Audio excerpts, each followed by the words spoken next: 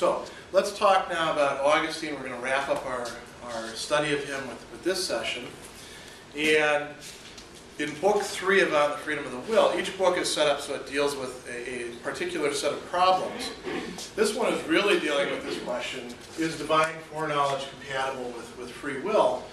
But you notice, you know, as usual, Augustine has a couple digressions. He, you know, goes off and he talks for a while about suicide and whether um, somebody really wants to, to not exist or not. Does that make sense? Um, and you might say, well, that, that's kind of just a, like I said, digression. He's, he's going away from the main argument.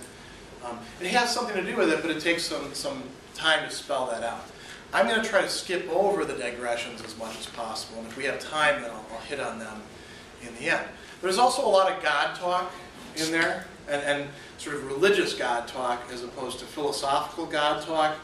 Um, where Augustine is talking about, you know, want, you know, wanting to praise God, or you know, he starts to get a bit more preachy in this one, doesn't he, than in the other books? And I think that, you know, if you are religious and your religious uh, views more or less coincide with Augustine, then you'll find those kind of edifying and useful. But I think when you're reading through this from a philosophical perspective, you don't actually have to pay close attention to that stuff. It's better just to pay close attention to um, the arguments, the arguments that are being being put forward, because they're by themselves, you know, they're they're difficult enough, and they're dealing with some pretty deep metaphysical topics, um, topics in what we'd call metaphysics, philosophy of human nature, even some epistemology and, and, and ethics. So um, let's talk about this this question of divine foreknowledge. Um,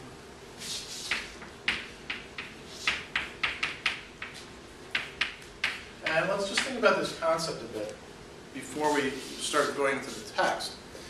So foreknowledge, that means, you know, there's two parts of this, knowing, and what is it to have knowledge of something? When you say you know something, you can count on it, right?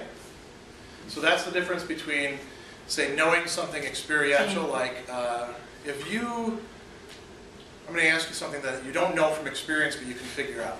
Let's say I give this piece of chalk to you, and you don't, you don't chew it or anything, you just swallow it. Would that be a good thing for you or a bad thing for you? Yeah, you didn't have to think an awful lot about that, right? How many of you would say you're confident that you know it would be a bad thing for you to swallow this piece of chalk? Is anybody uncertain about it and wavering? Mm, maybe I should try it. You know, no, you, you, you know it. How do you know that? What's the basis for your knowledge? Because you swallowed other similar objects and it didn't turn out well for you? Probably not, I hope. Yeah. It's not a food. Okay, there, there's, there's an important consideration. It's not a food. You know, we can swallow other things, like kids swallow pennies and, and they don't kill them, right? Yeah. Like what's made out of? Yeah, I mean, this is a pretty inert substance. There's nothing in this that's actually going to hurt you. It's probably the shape, right? Yeah. Probably choke. It could cause you to choke.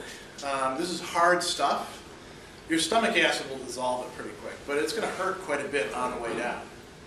And so it's not good for you, right? So you carried out a very uh, rudimentary process of, of figuring out what's good for you, what's bad for you. That, that ties in with what Augustine calls prudence um, at, a, at kind of a low level. And you do this all the time, right? When you're crossing nine. Where do you cross? Wherever you like? Does anybody just run across the street randomly? Why not? Because those cars out there, the speed limit's 40, but how, far, how fast are those cars going a lot of the time? 60, yeah. And if you get hit, now again, you don't know this by experience. You've never been hit by a car going 60 miles an hour, have you? I hope, I oh, hope not. Be alive. Yeah, well, you might, but you, you probably wouldn't be, you know, running around. Um, but you know, all of you would say you know that if you step out into 9W and just sort of leisurely walk across, you're probably going to get tagged by somebody, and it's going to be very bad for you to do that, right? You, you don't need to put that to the test. You have knowledge about that. You have knowledge about a lot of different things. And um, some of it has to do with consequences, some of it has to do with um, you know, fairly more abstract things like mathematics. I mean, how many of you know what um, 3 plus 6 is? All of you, right? I hope. Uh, anybody in doubt about that? You got to count it up. I'm not sure about this time. No, you, you know. So we know, we have a pretty good idea of what knowledge is. Um, do you know anything about your own behavior or other people's behavior? For certain. Is there anything that you can say, I know this for certain? What about with a high degree of probability? Yeah. Pretty sure if you cost someone paid, they're not gonna be happy. If you what? Cost someone paid, they're not gonna be That's a, happy. that's a good, unless they're a masochist, in which case they, you know, they might be like, you know, enticing you to, right? But, but you're right, in most cases, there's a high degree of probability. Make somebody experience pain, they will also experience unhappiness, and probably be angry too, right? Um, if they, if they know it's you doing it. Um, okay, that's, that's very good. We, we can predict things about things that haven't yet happened. Um, yeah, Does that mean that haven't yet happened to us? Because like maybe, because about the car going sixty, I mean, we might know that it might be bad for us, but we don't know like the actual consequences unless we hear a story on the news. Yeah, I think, you know, when we're adults, we, we have a much better handle on this than kids do. Sometimes kids will do things just to see what happens, right? And you look at it and you're like, man, that was a dumb thing to do. You could have figured that out. Like when I was a kid, I was four years old, I, uh, I took my mom's car keys, and they weren't these kind of keys, they were more like, like, like this kind, and, you know, a little bit thinner, and I stuck it into the electrical socket. And I, I thought I was playing start the car, you know? Um, and you can figure out what, what happened. It was 110 volts. Knocked me backwards, started melting the key. Um, there were all sorts of other things. My mom was worried and angry. Um, you know, I never did that again. Sometimes you have to you have to acquire knowledge in, in experiential, painful ways. Sometimes you can watch other people do something stupid and say, "Wow, I'm not doing that." That's you know, don't stick your tongue on the the cold um, uh, playground post. All of you've seen somebody do that, right? When you were at uh, grade school, you didn't do it, right? You weren't the kid who did it. You know not to do it. You actually understand also how it works. Why does your tongue stick? Well, because it's cold and you know water freezes, and then you're going to get yourself stuck, and then somebody's got to come along with hot water and pour it on there. You have knowledge of what's going to happen about future events. Um, foreknowledge is knowledge of what is to come. Now, your foreknowledge is pretty limited, isn't it? So is mine. For example, you know, you guys are taking the midterm on uh, Thursday. I can I can sort of guess how people are going to do, but my guesses could be way way off. You know, even you can't fully predict exactly how you're going to do, can you? You have some basic ideas. If you, how are you going to do if you don't study at all and you go out uh, with, with your friends the night before? We have an eight o'clock class. So let's say you go out. What's what's bar time here? Two, two thirty. 4. Is it four? Yeah. Are you serious? Okay. You stay out till four in the morning. Um, now all of you are underage, so you're just drinking cokes the entire time. Um, but you stay out till four in the morning the, the, the night before. How are you going to do on the test? Perfect. That's that's the strategy, huh? I mean, you you know, don't you? If you do something like that, you're probably going to do poorly. Um, how much studying do you think you? Let me ask you this: How much? How many hours of studying do you think, if you want to do really well on the test, you, you would probably need to put in? Fifteen. So it was like 10, 15? 10 to 15. Any other answers? Or does this sound reasonable to you guys? Okay, so you, you actually can predict to some degree how you're going to do. But you could get to the test and it could be like a bad day for you and your brain just freezes up. I think we've all had that happen, right? Uh, on the other hand, you could, you know, like stay out till 4 in the morning and, you know, some sort of miracle could take place and the knowledge just like pops into your head and you're like, you know, writing like crazy and it 100%. You don't have, you know, complete foreknowledge. And the further and further we get out, the more murky it gets, right? What about for God? We say God is omniscient, presumably everything is just as totally clear for God as, you know, what we consider knowledge that we can we can be absolutely confident about, like experiential knowledge or mathematics or things like that. So God knows exactly, you know, when I, when I drop this pen, and I'm not even sure, you know, when I'm gonna drop the pen, and I didn't even think about this until a minute ago. He knows exactly where and how it's gonna fall. Um, all the mathematical problems that we can't solve, he knows the answers to those. What the path of my life is going to be, and all the stuff that I don't even remember about my, you know, life, uh, going all the way back to childhood, he knows all of. And he knows all of that um, long before I even exist. So I, I was born in 1970. Um, God knew in 1969 the entire timeline for, for Gregory Sadler.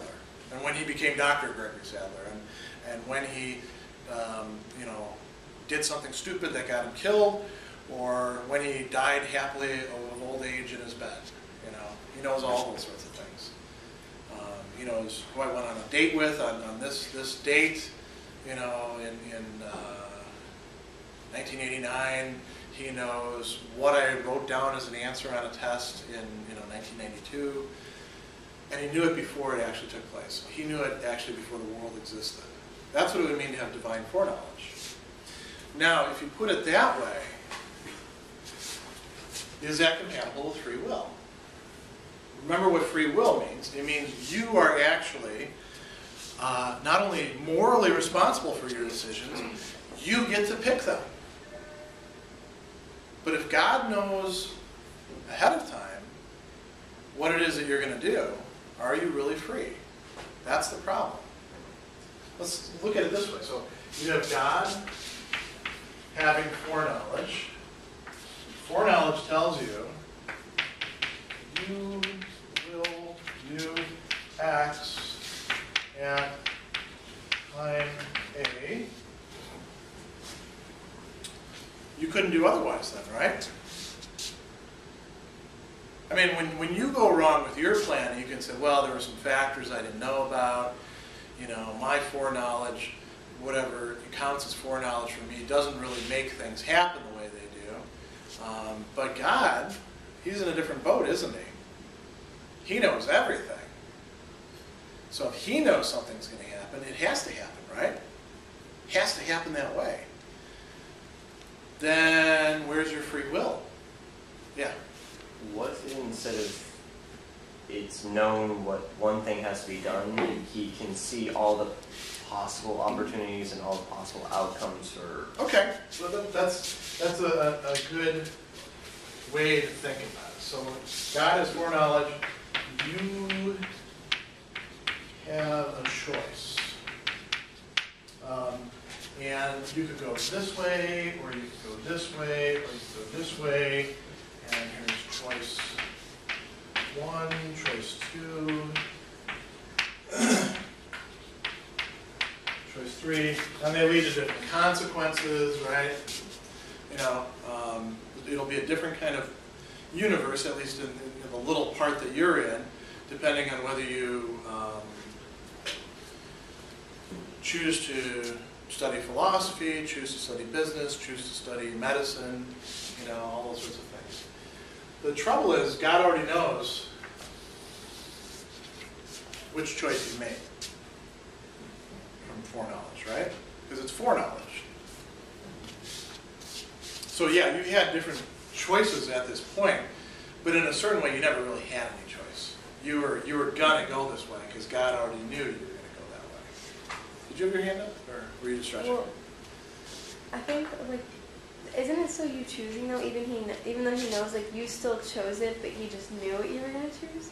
That's one of the ways you can go with this. There are answers to this. I, I've been trying to make this, you know, sort of a pressing problem for you uh, in the way that Evodius is, because Evodius is really puzzled by this. A lot of people are. Um, now's the time, a good time to go to the text. So let's see what Augustine and Evodius say. Um, says, I am troubled exceedingly by the question of how God can have foreknowledge of all future events and how there can be no necessity for us to sin. Notice he's, he's worried about how can, um, you know, how can it be our fault when we screw up? He's not worried about how can it be our fault when we do the right thing. that, that we're perfectly, you know, willing to say, yeah, that, that's fine. It's, it's when we screw up, when other people screw up, we want to say, is it their fault? Or is it really God's fault? It's got to be somebody's fault, right? And he says, if anyone can, says an event can happen contrary to God's foreknowledge, he's attempting to destroy the foreknowledge of God. We don't want to get rid of that. So if God foresaw the first man would sin, and this must be granted by anyone who agrees with me that God has foreknowledge of all future events. So, real easy case, just Adam, right? Adam in the Garden of Eden, Adam and Eve, actually, right? Um, are they going to sin or not? Now, you could say, well, God, you know, we did this last batch, right? God made them and He gave them free will, and He said, you know, go do your thing. Don't screw up. I'm not giving you free will so you can be a screw up. I'm giving it to you so you can do the right thing. But He knew they, they could do the wrong thing. And He actually knew that, you know, choice one could have been to say, I'm not really interested in apples today. Um, no, I'll, I'll pass on that this time. You know, choice two is say, yeah, I'll try that. Uh, knowledge of good and evil sounds great to me. Uh, maybe, maybe choice three, I don't know what choice, it could have been another thing, like he picks up the, the serpent and starts you know, swinging it around and smacks it against a tree or something like that. You know, we could he runs, runs away from the situation. Well, God already knows ahead of time, right, when he's created Adam, which way Adam's going to go. So it kind of looks like Adam doesn't really have a choice. He says, um, I, and so this is a vote. I don't say that God should not have created him because he created him good, nor that his sin could in any way be prejudicial to God. No, in creating him, God showed his goodness. Um, but I say this since God had foreknowledge he would sin, it must have happened by necessity. So this is a key term here necessity. Um, when we're talking about necessity, we mean it has to be that way, right? Necessarily, it must be so. The arguments that we saw for God's existence that people were making, those are supposed to be necessary arguments, not just possible or probable arguments, necessary arguments. Um, you could even say this about things in the world. When I stuck that car key into that electrical socket, provided there was actually current, um, what must of necessity occur? I get zapped, right? Um, with, with the pain thing, right? Um, provided my body's actually working the right way, when you put 110 th volts through it, how many of you have been shocked before? By more than like, you know, a 9 volt battery because you're testing it on, on your tongue like a dummy too. Um, but when you get shocked, that hurts, right? Burns. Um, and uh, that, that happens of necessity, given certain conditions. If your body's working right, if your nerves are actually connected, and you get zapped, you're going to feel pain. So it looks like God, his foreknowledge somehow necessitates Adam's sin, or any of our, our, our things. So he says, um, how then is the will free when the necessity seems so incapable, or seems so inescapable? And, and he brings up some other views. Some people say, well, get rid of God then. Take God out of the picture so we can all be free. That would be one, one solution, wouldn't it? Okay. Um, and he says, others, on the other hand, while not daring to deny God's providence governs people's life, prefer to say that providence is weak or unjust or evil. So God, you know, you got God in the picture, but God screws things up. That'd be another way you could go.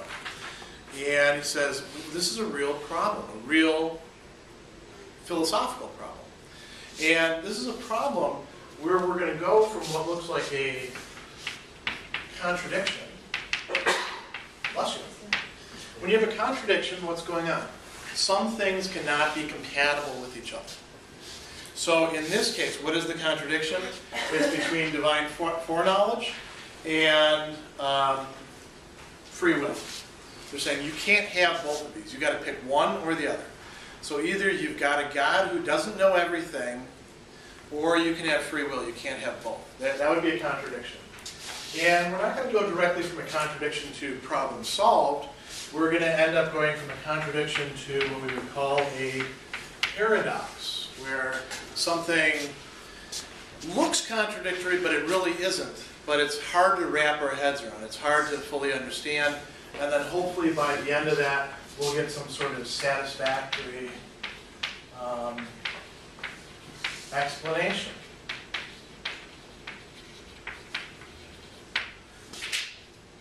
But it's going to work by steps. This isn't the kind of problem that you can solve by sort of just saying, well, here's the answer, now we're done. You have to kind of think your way through it, because these are, these are some real murky issues. So, um, Augustine really gives you two ways of approaching this, and these are not the only ways of dealing with this problem. Um, as a matter of fact, uh, you're on, on the right track in thinking of one possible response to this is to say, well, you know, God actually created us as free beings. So God knows of necessity what we're going to do as free beings. That's the, the route that Anselm will take. Um, in, a, in a piece that we're not going to read in this class after, after midterm, which you could read. I'll, I'll steer you towards that if you're really interested in this. Um, Augustine is going to do a little bit different um, tax. So the first thing that he does is he tries to get the, the, the, the problem clarified. You know, so he's talking with Evodius and he says, so in your opinion, everything foreknown by God comes about of necessity and not freely. So Evodius says, yeah. Does that seem reasonable to you guys? Everything that God knows ahead of time must be happening by necessity. What do you think? Yes or no? Is Evodius right in assuming that? What's your gut feeling? You don't have to stick with it. Just- what is it right now? Does that sound plausible to you? Everything God knows ahead of time has to happen. Yeah. But if you, so are we talking like, adding, like say someone is talking to someone else and they choose to insult that person and God knows that the insult is coming Yeah. and that is coming out of necessity. Why? Well, I mean, maybe God knows all the things that make up that person and drive them psychologically, so he knows that at point this, that person's finally going to snap and say the, the mean thing that they shouldn't have said. You know? Like, you know, for instance, with me, I, I, I struggle with, with a bad temper, and I've, I've uh, made improvements on that over the course of my life. And all that means is basically I can take more stuff before I finally, like, go off, you know, and which isn't a good thing. And so, you know, God knows when that's going to happen. You know exactly what sort of things would be the, the stressors put together. Uh, and he knows that because he knows the things that, you know, make me what I, what I am. So wouldn't, wouldn't that be necessity? Yeah. But what about like the different gods that people believe in? Okay. And like if like the one like say there's a god that one person believes in who knows like potentially everything that they're gonna do, but then like the other people who might believe in like a, a different god. So if you have a model of a God that doesn't have, say, foreknowledge, a God who gets surprised by stuff, then that's not an issue, right? And, and there are some biblical passages where it kind of looks like that. Like, you know, think about the Tower of, of Babel. There's a really interesting verse in there where, okay, these human beings, you all know this story, right? The human beings are building, the- building the Tower of Babel because they're going to reach to heaven. And, and then God says, wow, I got to put a stop to this because if they do this, who knows what these people are going to do. That kind of sounds like God doesn't know what's, what's up, right? He has, he's not able to predict who knows what they're going to do. That's saying he lacks foreknowledge.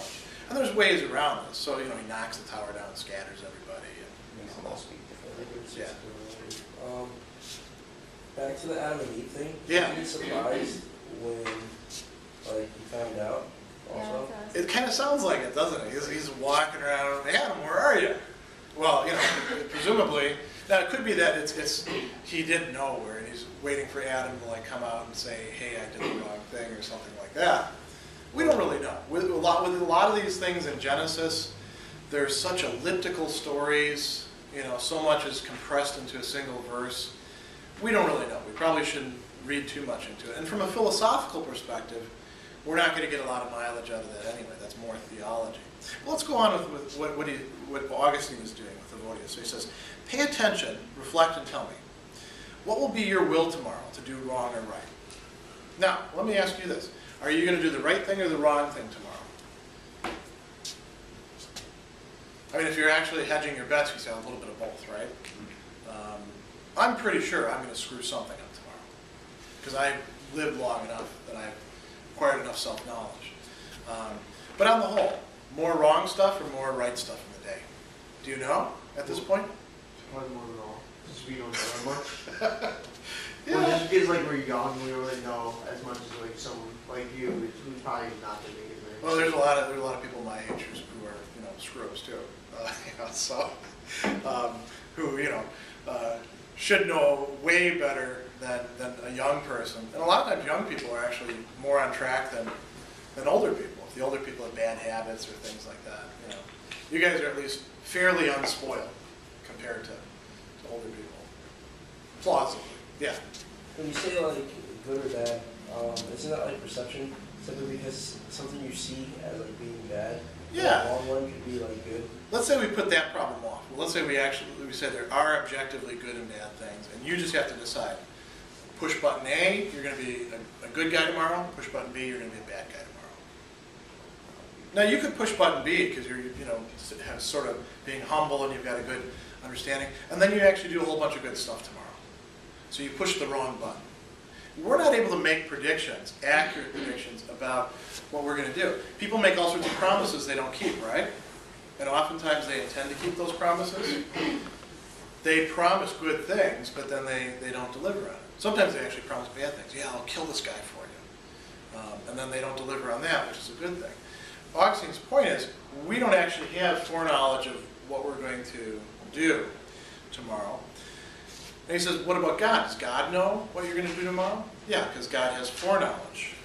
And then he says, if God knows what you will will tomorrow and foresees what all men will will in the future, whether they exist now or will exist, far more does he foresee what he's going to do to the just and the unjust. And you could pick all sorts of other examples. Does God know um, what he plans on doing at the end of time or things like that?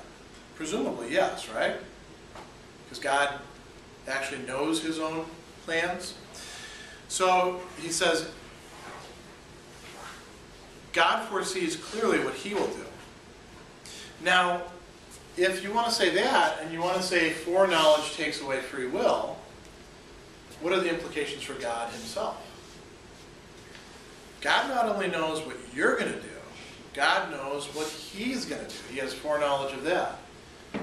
Does that mean God doesn't have free will? That God is somehow necessitating God? But he gave free will? Well, that's a problem, yeah. How could he, Augustine doesn't talk about it that way, but you could say, how could he give free will if uh, he doesn't even have free will himself? Then it looks like even God is caught in the chains of necessity. Um, so there's something even higher than God then, necessity. Um, so that should lead us to, you know, some, some suspicions that maybe we're off about this sort of thing.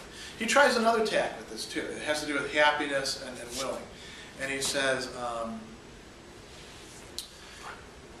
when you're happy, are you happy because you're, or when you're happy, are you actually willing to be happy? Are you choosing to be happy? Um, and the answer is yes, basically.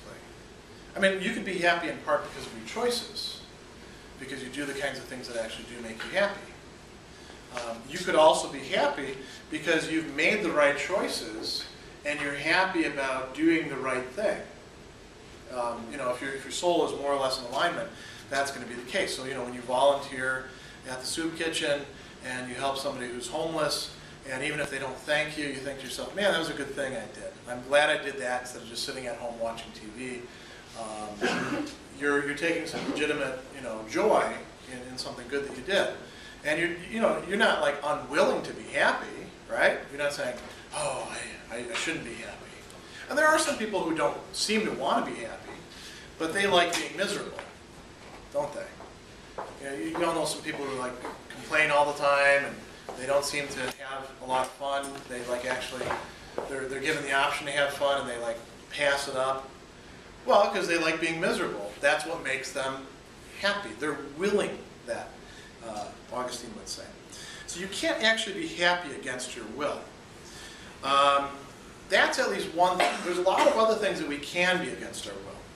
He says, um, You know, you could, you could uh, die against your will, you can be deprived of things against your will, but you can't really be happy against your will. So there's at least some things that you can't be unwilling about. Bless you. Then he says, can you actually will unwillingly? Because now we know that some things we can't do unwillingly. He says, um, nothing is so fully in our power as the will itself. We saw this last time, right? The will is what we call reflexive. It works on itself. If you want to change the direction that you're going in in your life, you can steer the ship in a different direction, so to speak, by changing your, your will. So he says, nothing is so fully in our power as the will itself. It's ready at once and without delay to act as we will. We can truly say we grow old of necessity. Why? Because our bodies are like this. You know, if I could be uh, in the sort of shape that you guys are in, I would.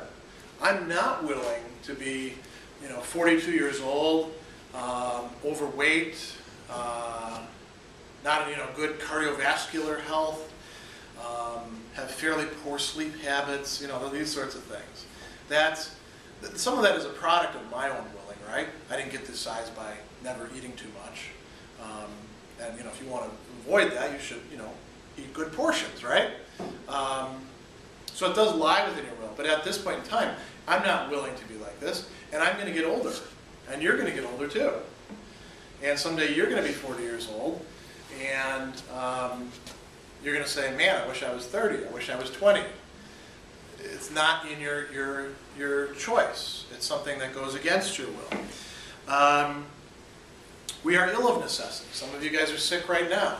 Did you choose to have a sinus infection? No. Uh, as a matter of fact, you could have actually like done everything you could to avoid it, and it could still hit you, right? And do you choose even what medicine they, they, they decide to give you for it or not give you for it? No, it's those are against our will. Those are unwilling. Those happen by necessity of other things. Um, we die of necessity and not our own will. And he says, no one would be so mad to venture to say it we do not will of our own will. We have at least this much. We get to choose a certain amount. So he says, although God foreknows what we'll will in the future, that doesn't imply that we do not make use of our will. So let's look at this sort of choice juncture now at this point. The way it's been sort of conveyed is God's foreknowledge imposes necessity on everything.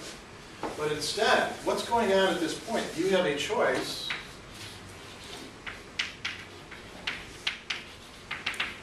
use free will at that point. And God sees you doing that. God's foreknowledge is not making you turn your will this way or that way. God's seeing what you do, but you are He's seeing you do it willingly, freely, at that point. Why is He actually seeing you doing that? Because you did that at that point. It doesn't make sense to, to talk about you willing unless it's freely. That's what it means to have a will. That's what it means to have a faculty of choice, to be able to decide between things. So he says, um, the foreknowledge of God, which is certain today of your future happiness, does not take away your will to be happy when you are happy. You, you freely want to be happy. So too, if your will in the future is sinful, it will not cease to be your will because God foreknew what was going to happen. So if we're thinking about Adam, we could say, yeah, God, when God created Adam, he like saw everything ahead of time. But he saw Adam at this point in time making the free choice to do the wrong thing because he gave him a free will. And that's what it means to have a will. So, um, like it says, our will would not be a, our, our will would not be a will if it was not in our power. That's what it means to actually have a will, to have something that can decide between different options. Um, he says, when we will, if the will is absent, we don't will. This is about sort of the very concept of the will. Augustine is saying there's, there's kind of a nonsensicality to say that I am completely necessitated. I don't have any free will at all. Um, it's kind of interesting. This is a digression from, from Augustine. I'll come back to that in a second. When I was teaching in the prisons, I would every once in a while get to the, this, this area where we talk about are we true, truly free or are we not free? And if, if people aren't free, then the people who did crimes, they, they're not really morally responsible for that, right? Because they didn't choose them freely, they were necessitated, right? So maybe they had a bad upbringing and, you know, bad neighborhood, and they couldn't have possibly done otherwise. And so therefore, if that's the case, it's, it's mean for us to punish them, isn't it? We punish somebody for something they couldn't help doing. That's sort of like, you know, if you've got somebody who is just not good at taking tests, and you make them take a test, and they do badly on it, and then you punish them for it, you're kind of a jerk, aren't you? Because you're, you're doing something unfair. And so I would have guys who'd point this out. Hey, you know, if this stuff is true, if we're really determined we don't really have free will, man, we shouldn't be here in this prison. And then I would say, and well, actually, I would have other guys in the class who'd say in response, wait a second. If, if, if you don't have free will, that means everybody doesn't have free will. And that means that the people who are punishing you are just as determined, without any choice of their own part, to punish you. And so it's, it's perfectly fine for there to be punishment then. If you take away free will from any group of, of human beings, you, you really have to take it away for everybody. And then you can't complain about anything. Everything becomes totally flattened out. Like, you know, like you were talking about meaning last class, you know, or the possibility of being put to the test, right? Um, that wouldn't be, that wouldn't be possible. So, um, let's go on, and, because Augustine is actually going to give us another possible way to, um, to talk about this. So we, one way we can say is, look, it, what it means to have a will is that you actually do have some degree of freedom. You choose freely, even though God can, can see what you're doing. Another way that you could talk about this is much more of a, an aesthetic argument.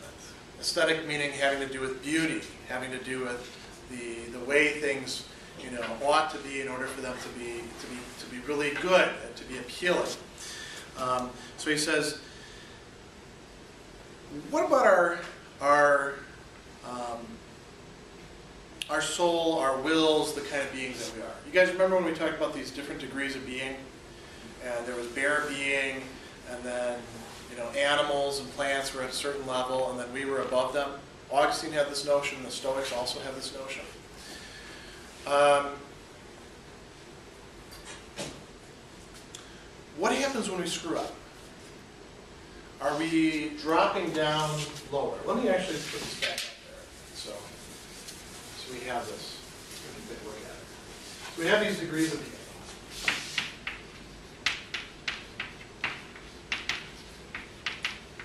We have just existence itself, being sensible, being living, right, being able to, to perceive things, that's where the inner sense stuff was at. And then we had understanding, you know, reason, and because of that, we actually have a free will at that level. And then there's, you know, higher level, yeah, which is like, you know, where truth is itself, truth, and uh, the virtues in a certain way, and also God, right? Um, now, as you go from the lower to the higher, things are getting better. That's it's, it's not just that they have more being; they are better, qualitatively better types of being. And when we think about somebody who is a bad person, um, they are there's something screwed up in them. Augustine has this notion of evil as not being something uh, that exists of its own right. Evil is a corruption or a, a privation or a going astray of the good. Right?